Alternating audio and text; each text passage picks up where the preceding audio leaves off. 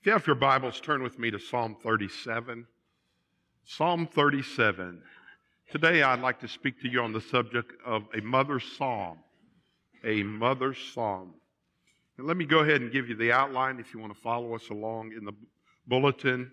I do have six points, but uh, we will get to them quickly, all right?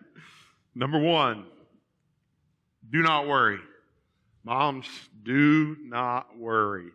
And again, I want to encourage you today, moms, in the faith. I want to encourage you. Number two, keep on trusting. Keep on trusting. Number three, delight in the Lord. Delight in the Lord. Number four, commit to Him. Commit to Him. Number five, wait for Him. Wait for Him. And number six, forgive unconditionally. And, you know, mom's been gone for several years now, and me and my mom were very, very close. I had three sisters, and, uh, you know, my baby sister uh, was sick a lot of the time, uh, but dad worked a lot, and me and my mom got just really close, especially. Uh, I knew when I got into the ministry, uh, she was one of my best prayer warriors. And uh, I just cannot say enough about the upbringing that my parents gave me. Uh, we went to church every time the doors were open uh, Sunday morning, Sunday night, Wednesday night. And even in my teenage years, and especially my college years, uh, Dad worked all the time. So when he got home, he would go to bed. But my mom would never go to sleep till I came in the door. And uh, all my sisters got married when they, they were 18 and graduated from high school. And uh, I lived five blocks from the college that I graduated from and never had to stay in the dorm. Uh, my mom, even when I was in college, and I, I'm almost ashamed to say this, she made my bed and made me meals when I was in college. So I got to thinking, man, why do I want to? I, I was on an athletic scholarship and I could have done that. But I was thinking, man, cafeteria food compared to mom's food. Then finally, when I was 22, my dad told me, son, you got two choices. Either get out, get out, or get married. And I chose to get married. All right. So I've, I've had a, a wonderful mom and a wonderful wife. And uh, we do. We just want to honor our, our moms today. They, they mean the world to us. Psalm 37. Psalm 37. And David uh, wrote this psalm pretty much uh, when he was older. And the reason I can say that is look at verse 25. Look at verse 25 as we begin. I have been young and now I am old. Okay, and I'm, I'm learning that. Uh, there are limitations to things that I can do. Yet have, yet have I not seen the righteous forsaken, nor his descendants begging for bread. Folks, the bottom line, moms, and, and folks, this, this applies to everyone. It's not, yes, we are honoring moms today, but everything I tell you today is for Christians also. Folks, God will never leave you. God will never forsake you. So we praise the Lord for that. Psalm 1 Do not worry, do not fret because of evil doers nor be envious of the workers of iniquity, for they shall soon be cut down like the grass and wither as the green herb. One, do not fret. In three times in this passage that we're reading, the writer says, do not fret and do not worry. Folks, God is in control. And what I've learned is worrying changes nothing. Okay? It changes nothing. Uh, I've heard it described as a rocking chair. Have you ever heard that? Yes, you have. You, you are going through a lot of motion, but you are going nowhere. And what we need to do, moms, is to understand, folks, God has got this. God is in control. Hold your finger there and go with me to Matthew chapter 6. Matthew chapter 6. I want you to see this Matthew 6, verse 25. Therefore, I say to you, do not worry. Folks, this is Jesus' words. Moms, this is Jesus' words. Do not worry. There are so many situations in life that we cannot change. We cannot change our kids. We cannot change our grandkids. But I know someone who can. So instead of worrying, we must learn to pray. To pray. Therefore, I say to you, do not worry about life, what you will eat or what you will drink, nor about your body, what you will put on. Is not life more than food and the body more than clothing? Folks, our society now says that so much. What you look like. And folks, we can't look at a person and judge them by what they have on or by their appearance.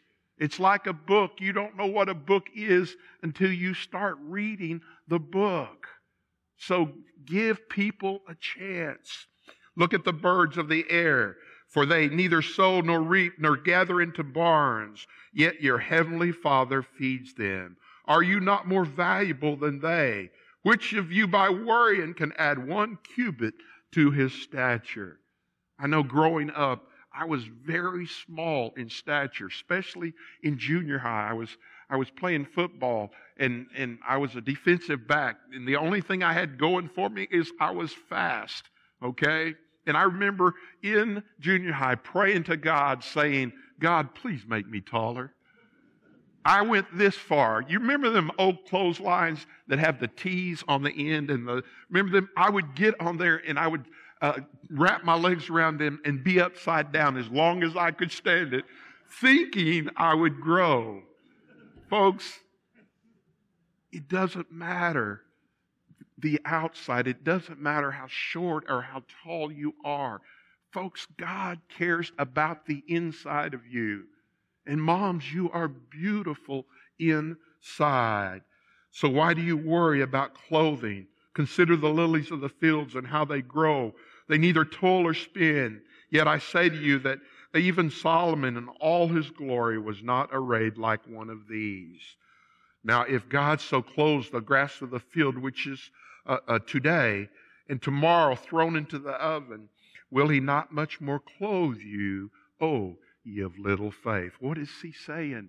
He's saying it's just like, you know, life is like a vapor, and, and there are seasons in life. And beauty is not just what you see, beauty is truly inside. And here's the third time he says it. Verse 31 Therefore, do not worry what you shall eat or what you shall drink and what you shall wear, for all of these the Gentiles seek. For your heavenly Father knows that you need all these things. But seek ye first the kingdom of God and his righteousness, and all these things shall be added unto you. The song that we sang, give them all, give them all to Jesus. Folks, every care, moms, every worry, every care that you have, give them to Jesus.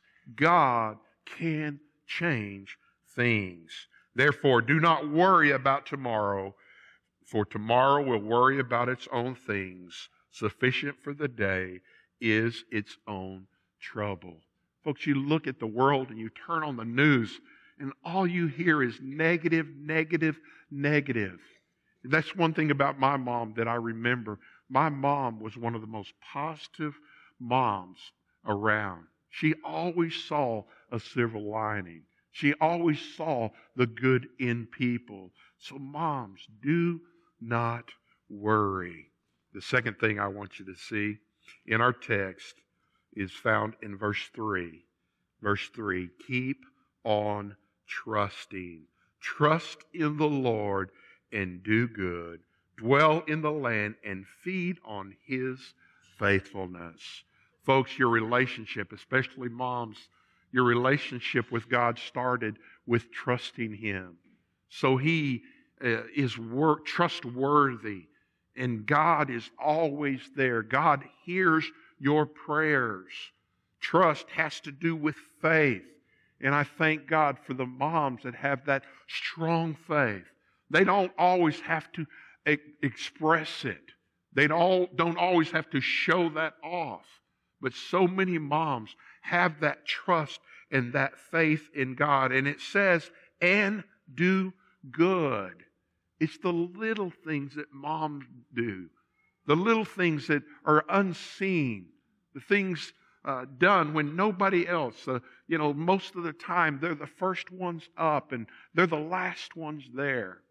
Matter of fact, when Jonathan was just a baby, what I was trying to teach him was mama, mama, mama, mama. You say, why? So that if he woke up in the middle of the night, it was mama, mama, mama. And folks, I'm telling you the truth. You don't have to ask a kid to say that. When they are hurt or they are hurting, they want mama. Okay? I mean, my father, if I, if I got hurt, I remember one time I was doing a bicycle thing and we were doing jumps and I literally flipped over on my bike and scraped my deal. My dad, it was a Saturday morning, he was home.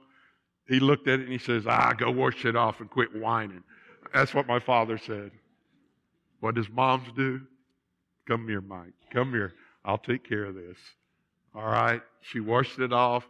She did not put metholate. My dad loved metholate, if you know what I'm talking about. It would bring tears to your eyes. Mom had put that salve on it and put a band aid, and we would go out. Trust in the Lord and do good dwell in the land and feed on his faithfulness. What is he talking about? He's talking about feeding on his word. I thank God for godly moms. I thank God for even when dads are gone, that they would take the word of God out and they would read it to their children. I thank God for moms that will sing scripture to their children. That's one thing Lori has always done to our children and to our grandchildren. She sings, she sang scripture. Proverbs 3. Look with me at Proverbs chapter 3. You know this scripture, but I want to read it. Proverbs 3, verse 5. Trust in the Lord with all your heart. Moms, trust God and lean not into your own understanding. Folks, there's a lot of things in life I don't understand. When it comes to death, and sickness and timing, a lot of times I don't understand. But we have to keep trusting in God. In all your ways, acknowledge Him, and He shall direct your paths. Folks, I'm telling you, God knows. God understands. Mom, moms, God cares. God cares about you. God cares about your hurts. God cares about your families. He cares deeply for you. And then it says, uh, the rest of that, do not be wise in your own eyes. Fear the Lord and depart from evil. I thank God for moms that fear the Lord, that stand up for what is right, that teaches our children the Word of God. And you think about it, folks, in Sunday school, especially talking about, and even in school, elementary school, I, I heard a stat each building basically has one, and I know there's others, but the average is one male in our educational buildings. So you see for children how important moms are. Moms are the ones that mold these children. Moms are the ones that influences our children. And folks, uh, moms uh, are very, very special to, to God. So do not worry. Keep on trusting in the third thing delight in the Lord. Look at verse 4. Delight yourself also in the Lord, and he shall give you the desires of your heart. What does delighting in the Lord means? It means loving God. It means adoring God. It means serving God. Delight. And folks, when we delight in the Lord, there are two things that are present in our lives. One is joy. When we delight, we have the joy of the Lord in our hearts. And, And the second thing, moms, that we have, not only do we have joy when we delight, we have peace. Folks, this world is so messed up. It's in such a chaos. And there's just something about, I mentioned earlier how important prayer was to not worrying. But just trusting God and committing to God gives that peace that passes all understanding. And what we need to do, so many times in life, we dwell on the negative things. But there are a lot of positive things. I wish there was some newscast in America that all they did was focus on positive things. There are so many positive things going on. And again, uh, you know, delighting in the Lord is looking at the good in others, giving people the benefit of the doubt. And our moms do a super job with that. Ephesians chapter 5. Go with me, if you would, to Ephesians chapter 5, verse 18. Do not be drunk with wine, which is dispensation, but be filled with the Spirit. Oh, moms, I, I, I love to, uh, I, I like to watch faces in the choir. And there are faces in the choir. You can just see the love of God and the Holy Spirit on them. And there's just something about that, that, that countenance of a godly woman. It is so, so important. Look at verse 9 speaking to one another in psalms and hymns and spiritual songs, singing and making melody in your heart to the Lord. I remember when I first came here in our choir, in the old choir, in, in our old sanctuary, I looked up in the choir and I saw two men. There were two rows of ladies and two men. One of them was Mike Pope, and the other one was Jerry England. And I'm simply saying, you know, that choir stood out, but yet, again, there's something about women singing. Steve said about his mom singing to him. I remember my mother many times on a porch. They, they had a closed in porch, and, and in, in our, our home there, and she would be in a rocking chair and she would be singing the very same thing Jesus loves me. I can remember that as a child. And there's just something about a, a woman singing and making melody unto the Lord and praising the Lord. And you could sense that in our families. And it says, giving thanks always for all things to God the Father in the name of our Lord Jesus Christ. Dwelling and, and delighting in the Lord simply means acknowledging God for who He is. Folks, we are very blessed. We are a blessed people. Moms, you are blessed. Okay? The Bible says children are a heritage of the Lord. So we see, do not worry. Keep on trusting delight in the Lord and commit to Him. Look at verse 5.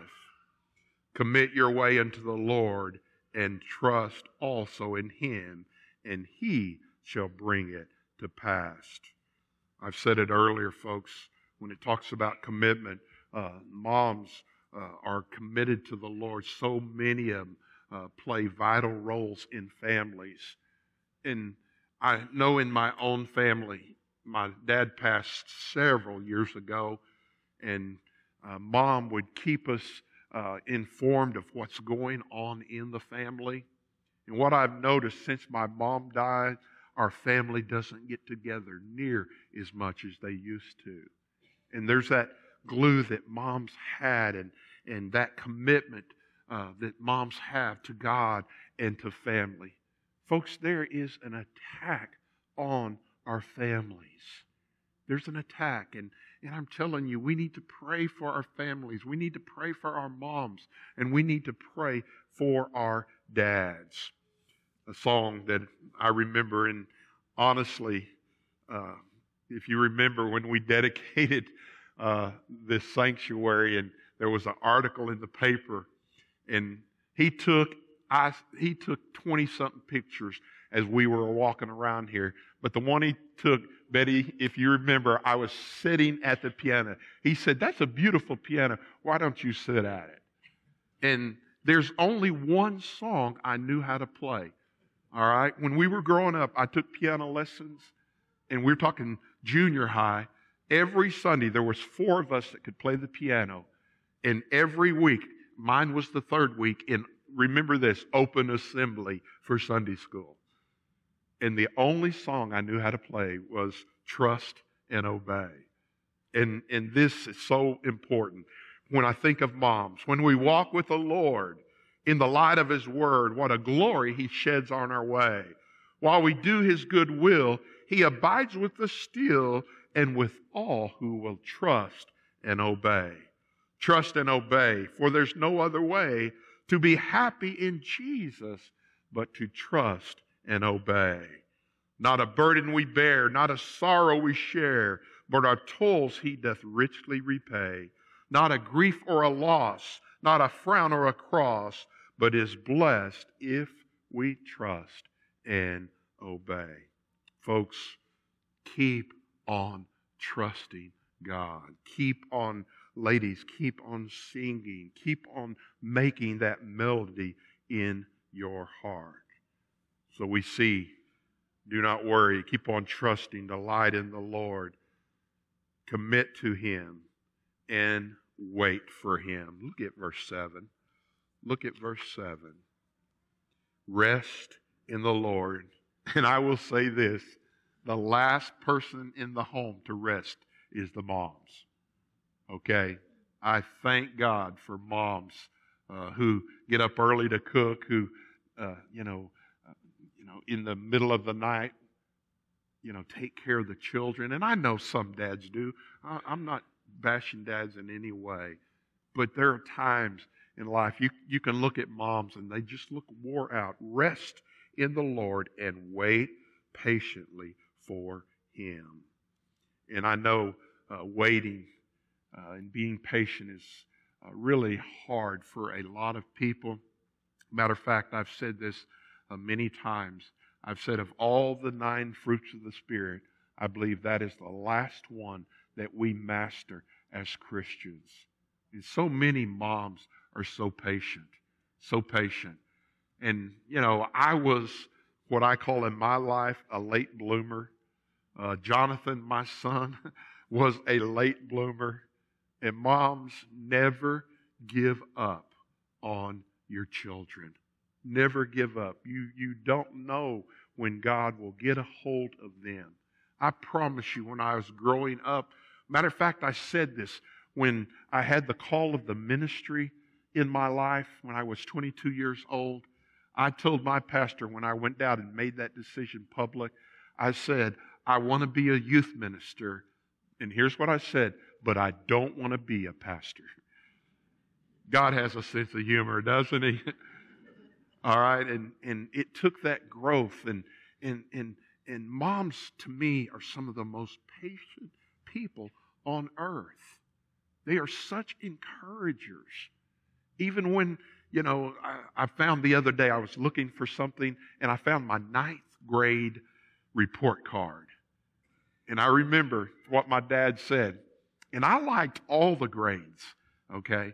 I enjoyed them all A's, B's, C's, and D's. Now, I never got an F, but on this particular one, I got two D's.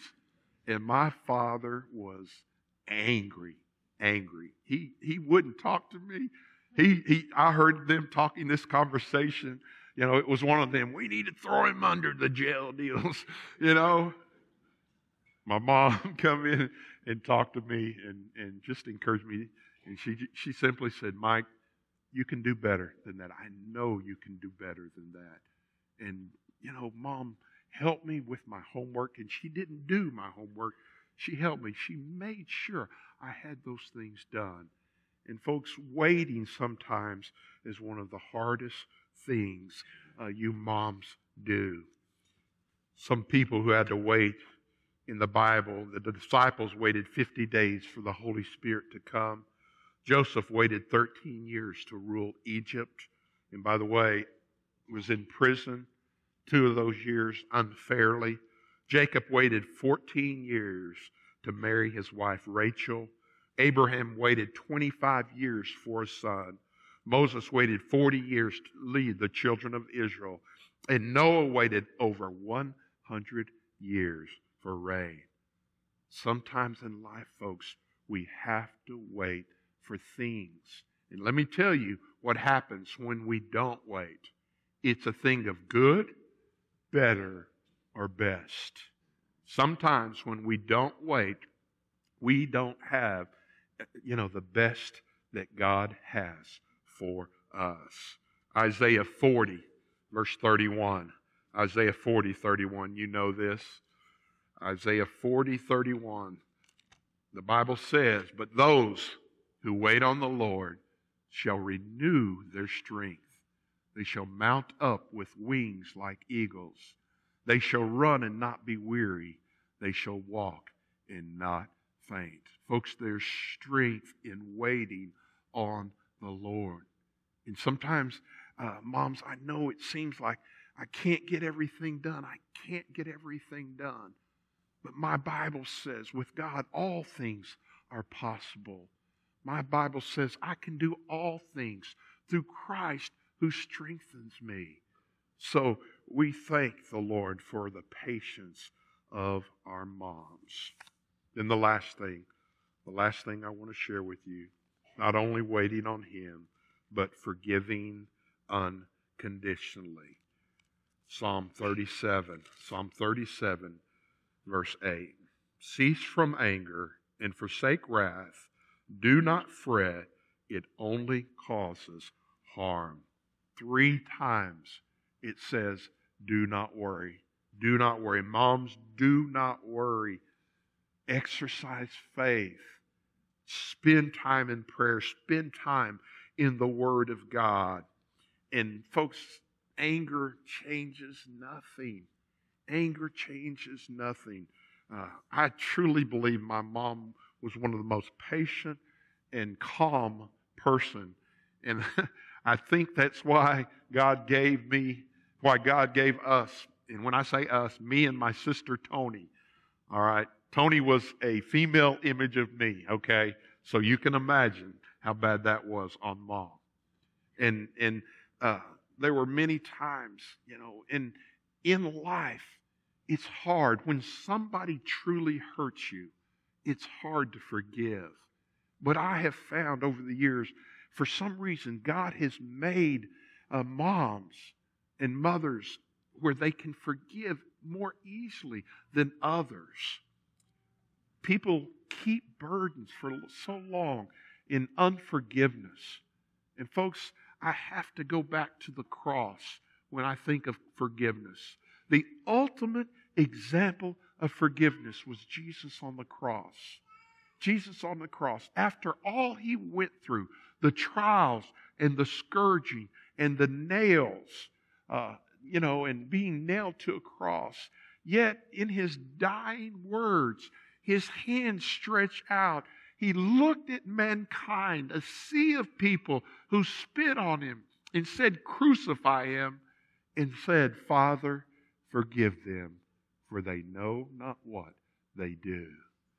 And folks, if God can forgive us of our sins, we need to forgive others of theirs. Ephesians chapter 4. Ephesians chapter 4. I want you to see this last scripture. Ephesians 4. And do not grieve the Holy Spirit of God. Folks, I believe when we don't forgive, we grieve the Holy Spirit, by whom you were sealed for the day. You're saved. There's no doubt about it. But, folks, there's times in our life we have to just let things go. Don't hold a grudge. And here's what I found out the person normally, or not all the time, but a lot of the times that you're holding a grudge on, they don't think anything about it. And you have this bitterness in your heart. Folks, forgive them if they never say, I'm sorry. If they never come to you and acknowledge it, forgive them and go on. Ephesians 4, uh, verse 31. Verse 31. The Bible says, let all bitterness and wrath and anger and clamor and evil speaking be put away from you with all malice. With all malice. Folks, let it go. Let these things go. Verse 32 says, and be kind to one another. Man, moms, moms have the corner on kindness. They really do. They use kind words, they use kind actions. Moms are tenderhearted. I'm just telling you, they are so tenderhearted, forgiving one another, even as Christ forgave you. I want to talk to the men as we close. Through Lori's fall for this last two weeks, and men, listen to what I'm fixing to tell you. Men, we take what our wives do for granted. I've never changed the sheets on my bed in my life. I've never had to bathe my wife and dress my wife. I never had to do these things. I never planted a plant. I learned there's four parts to soil if you're going to plant the right plant in the right place.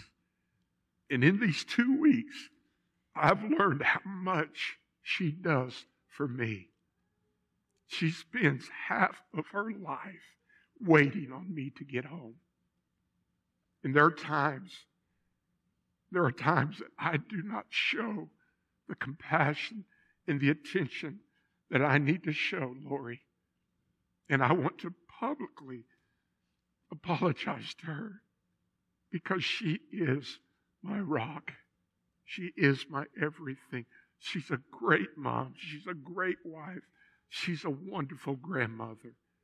And I will never take it for granted anymore.